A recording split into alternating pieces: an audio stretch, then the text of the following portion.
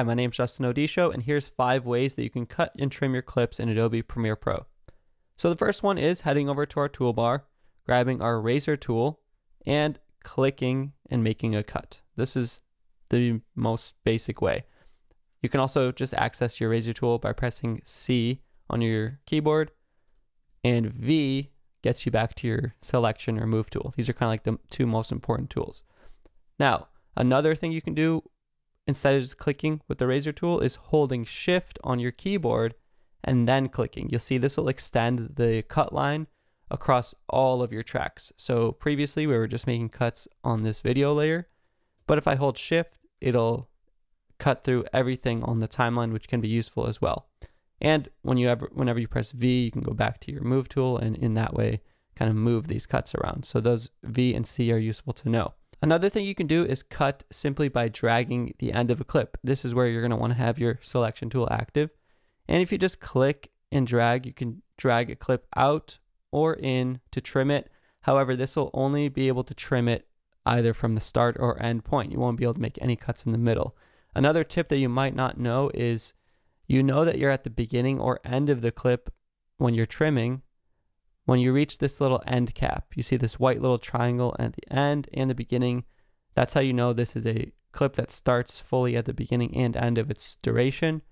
And as soon as I trim it a little bit, you see those end caps go away. That means this clip is trimmed a little bit. There's more information.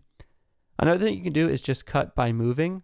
If I ever take one splice or slice of a clip and just drag it on top of another clip, it'll just overwrite whatever we drag. So in this way, I'm kind of trimming them into each other or just replacing things by moving them on top of each other. Another way that you can cut is with the shortcuts Q and W on your keyboard. These are called the ripple delete tools. So traditionally, if I wanted to just trim off this portion of a clip and then put it back to the other clip's end, I could press C, cut, and then press V, grab my selection tool, you know, delete that, and then move the clip back over. And what we've done is we've trimmed a little bit off and closed the gap. However, a faster way to just do exactly that is move your timeline playhead where you want it to cut and simply press Q. Q will trim off everything to the left of the playhead to the next cut line. Now, it does take a look at what track is targeted. So, track targeting here, these blue kind of highlights on V1, V2, V3, that's what it pays attention to when it tries to consider the next cut. So, make sure you do have the track targeted if you want the cut to be recognized. The same thing for ripple delete forward. So if I wanted to just trim the end of this clip instead of, you know, cutting it in some way and deleting it and even clicking on that gap and pressing delete. With ripple delete, I can simply press W.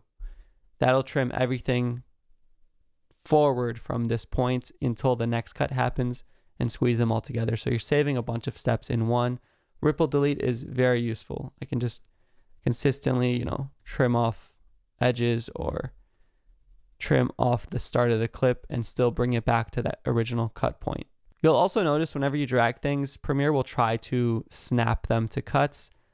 That's going to work if you have this snap feature turned on in the timeline. So this little magnet right here, you can turn it off if you're trying to do something where you do need the frame to be just one off and you're not trying to have it snap to the timeline or the edge of another clip. So remember, you do have this snap feature available to you. And lastly, another just shortcut for cutting instead of using clicking the razor tool and clicking it or pressing C and, and clicking is by simply pressing Command K. Command K will cut, it will basically just make a splice wherever the timeline is. So Command K is just another way to cut with the keyboard and when you are working with that, then you don't even have to have the razor tool activated. You can be trimming and then press Command K. You don't have to switch to the razor tool. I believe if you're on Windows, the Command key is the Control key, but if you ever want to double check or change any of these shortcuts to your own preference, you can always go to Premiere Pro, Keyboard Shortcuts, and you can see all these shortcuts that I mentioned. Q, W, that's ripple delete or ripple trim forward or backward. And you have the option to edit these if for some reason you want to change it. I tend to just keep everything default. And also remember, whenever you're working on a clip, you can zoom really far in or out, and you can use the left and right arrow keys on your keyboard if you do want to get that exact frame. And this is helpful when you do want to get to an exact frame and then maybe press W or something to ripple delete it or press Command K to cut it at an exact frame. You can also press the up and down arrow keys to jump from cut to cut. And remember, this also takes into account which tracks you have targeted. So this can be a great way to just jump to a cut point as well, or any of the ways that we've cut. So these are five or so best ways to trim and cut in Adobe Premiere Pro. Hopefully you did learn a new thing in this video. If you did, make sure you subscribe to my channel, check out all the other videos. My name is Justin Odisho. Thank you so much for watching, and I'll see you in the next video.